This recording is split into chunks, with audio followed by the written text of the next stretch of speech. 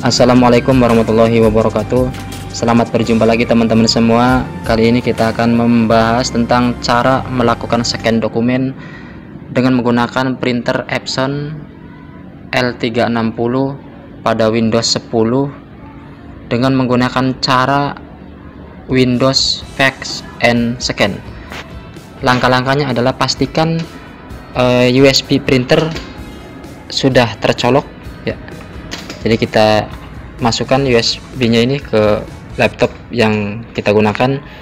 Kemudian pastikan tombol power pada printer sudah dalam keadaan on. Berikutnya adalah kita masukkan dokumen yang akan kita scan. Atur posisinya sesuaikan. Ya seperti ini.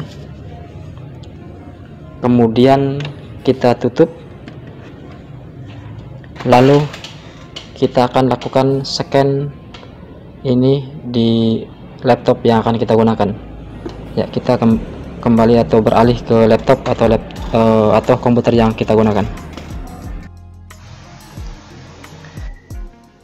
Jadi untuk melakukan scan pada printer Epson L360 menggunakan Windows 10 ini ada dua cara. Jadi yang pertama ini kita akan menggunakan cara dari sini dari search ketikan Windows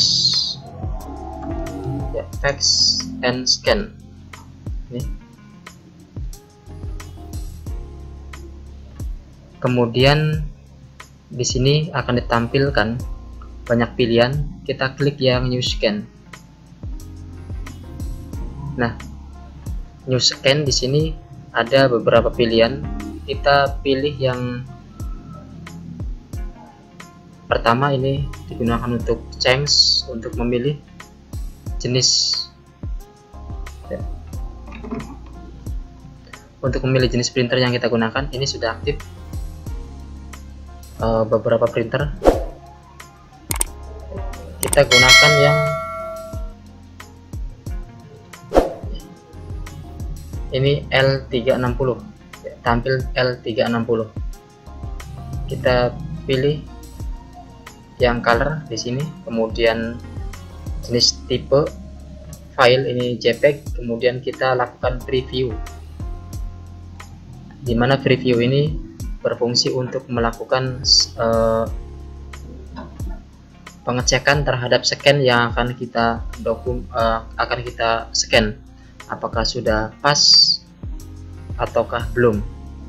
Jika jika sudah dirasa sudah pas maka teman-teman langkah selanjutnya adalah tinggal menekan tombol scan pada bagian bawah ini.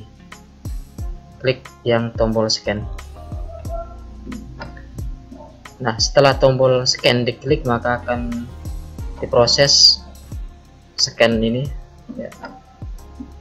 memerlukan beberapa detik saja teman-teman untuk melakukan scan ini scan dokumen yang akan kita uh, gunakan ini nanti sampai tanda indikasi proses warna hijau ini nyampe ke samping atau ujung sebelah kanan. Itu artinya sudah selesai. Dan nanti kalau sudah selesai sudah nyampe begini ini nanti ya, selanjutnya akan ditampilkan ya, ditampilkan ya, hasil daripada scan ini ini adalah file scan yang kita lakukan tadi. Ini image ini adalah scannya hasilnya.